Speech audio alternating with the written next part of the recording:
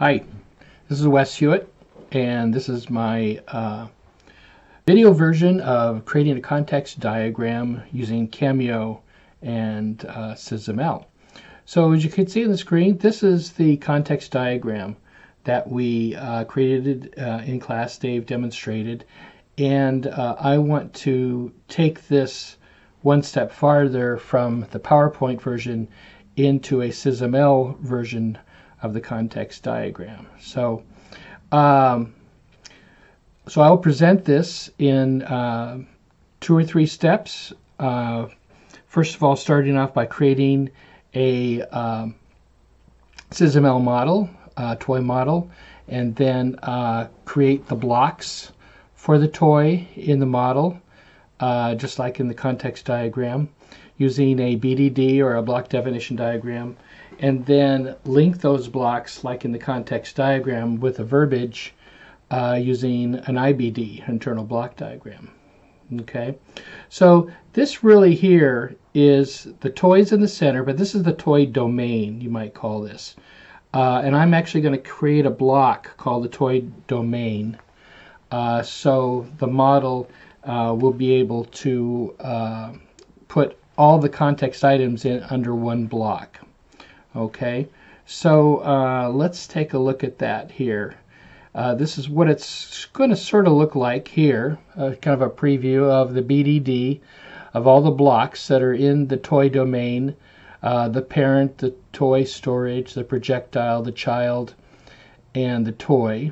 And then from this, so these are the building blocks, the blocks, okay, and then we'll create an internal block diagram of just uh, the toy. Okay, so uh, we'll, so we'll create an IBD of the toy domain, and part of this toy domain internal block diagram is the toy in the center, like we did in uh, the uh, context diagram in class, surrounded by the um, the items that are in the domain relate to the toy uh, things that affect uh, the design requirements, uh, the stakeholders, and what they do. So we'll sort of make it look like this, and I'll show you how to do that.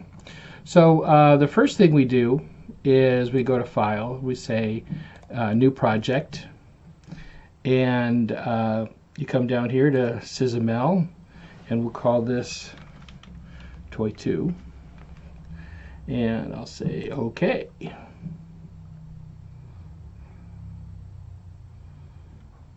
So you see um, it always defaults to in this containment area here and this we call this the browser area okay? Creates the model and I'll do a right click here. And uh, let's start off creating um, the block diagram to create the elements okay? So we'll create a diagram and this is going to be the block definition diagram okay and it creates uh, the frame for SysML you always have a frame. It's got a BDD in the front for block description diagram.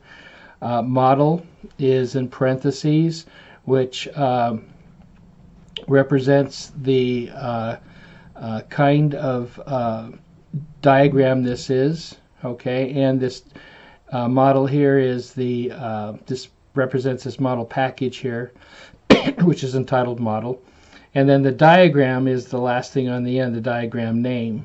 Okay, so let's just change this to uh, toy. Okay, so this is a description of the toy. Uh, in fact, we could even call this the toy domain.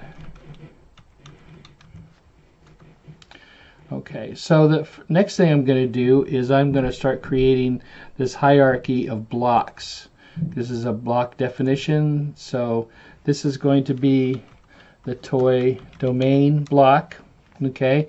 And you notice over here it automatically adds it into this uh, into your model. Now um, Cameo allows you to use gives these automatic uh, kind of hints here. So I'm going to create some direct composition with this black diamond here. And uh, click down here okay. And then this is going to be uh, the, the next piece here just a second here so this will be the, uh, let's say, parent. Just one second here so uh, I can look at that. And uh, so it names this relationship parent. This is actually represents a part of uh, the part called parent. So the block's parent, and it created a part or an instance of parent with a little letter, and that sort of represents. So it automatically creates that, and we'll show you over here. When you click on here, you see this little P. So it's created. This is the part, and this is the block. So this is an instance of parent. Okay and it built that for you. So now I'm going to create another one. And this will be storage, toy storage.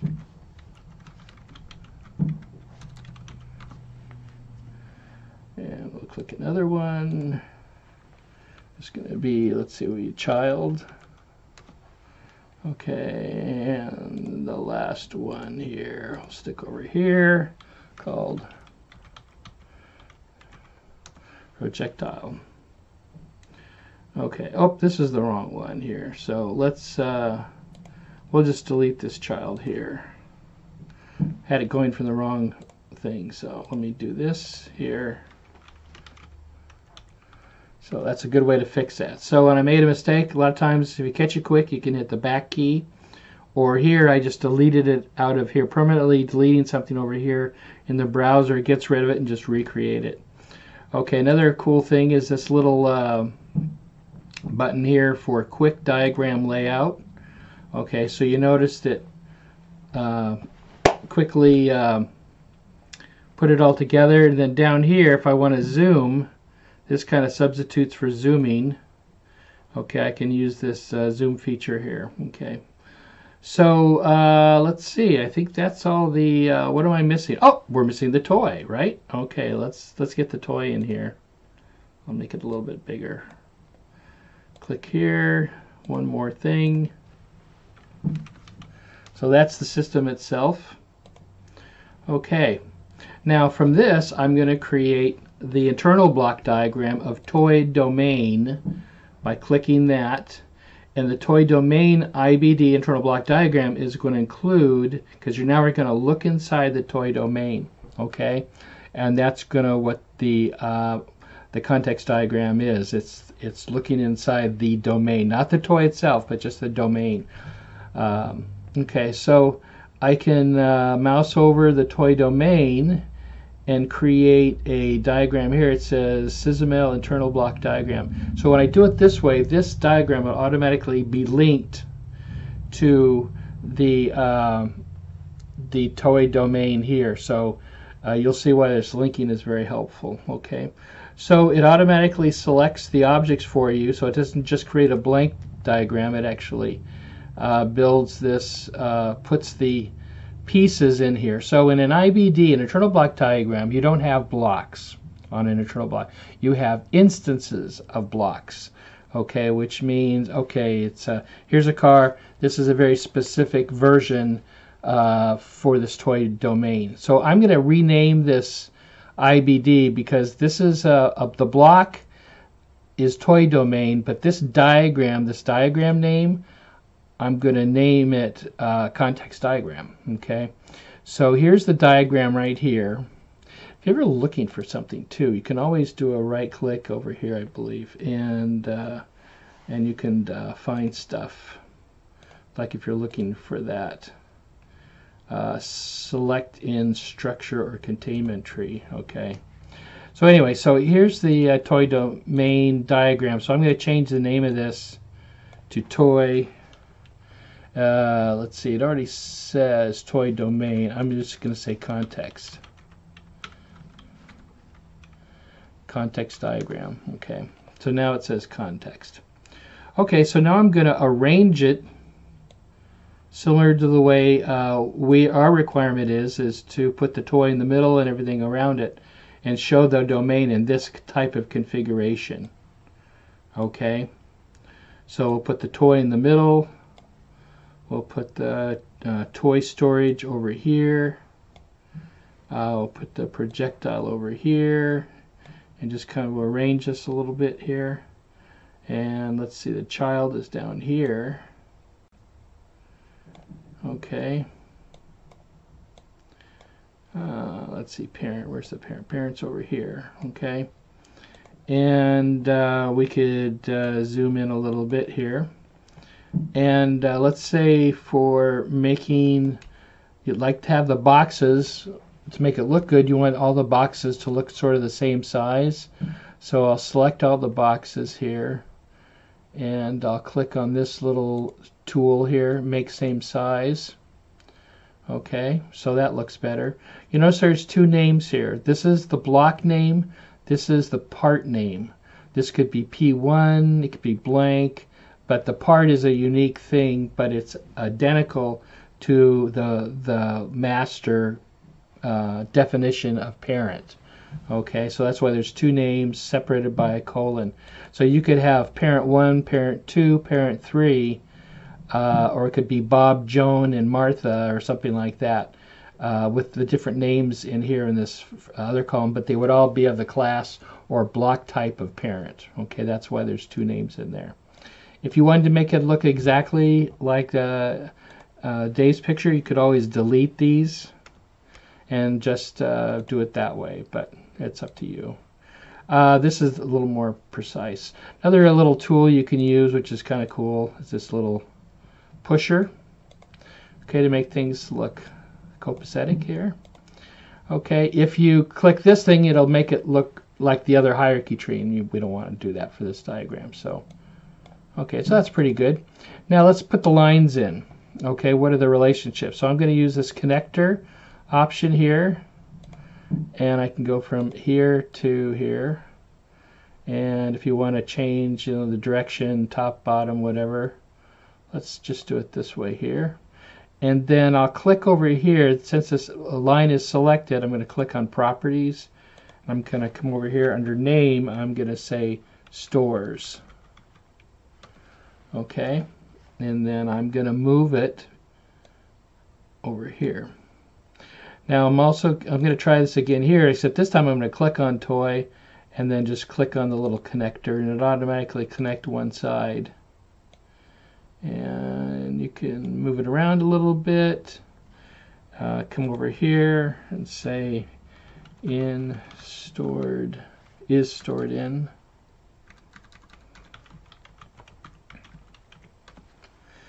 Okay. And this is closest here because the toy is stored in this way and parent stores this way. So the name goes to the closest to the block that you want to read first. Okay so let's do this again. This time we'll go to the child. And uh, let's see. This one originally went sort of like maybe from the side here. You can always slide this over a little bit. You can arrange these uh, things here okay and let's see, that one is called Attracts. And last but not least, okay, throws. Okay, so I got the four boxes. Now, what's missing here?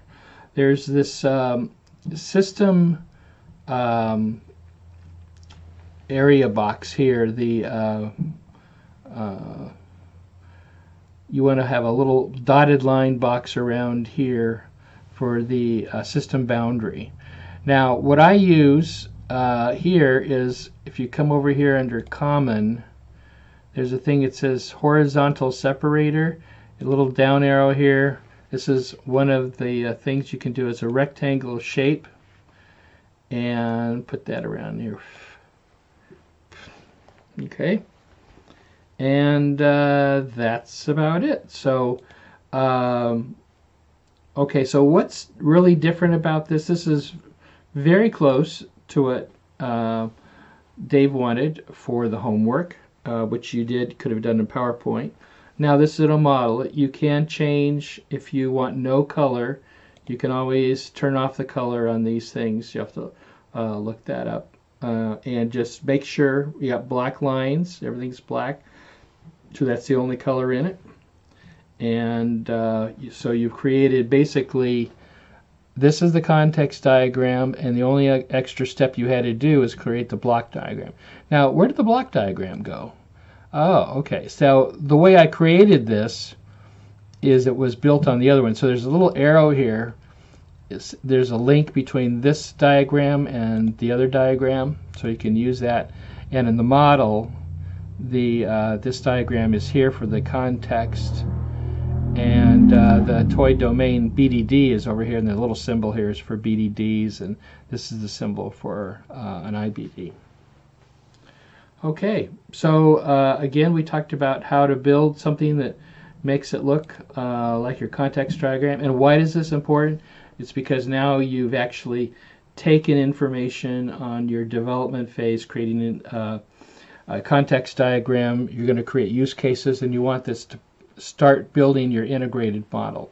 And now you've started that by building these folders and creating these objects, which you can re reuse uh, in other parts and other diagrams that you're going to do in the future. So, okay, so uh, that's all I got. Thank you very much.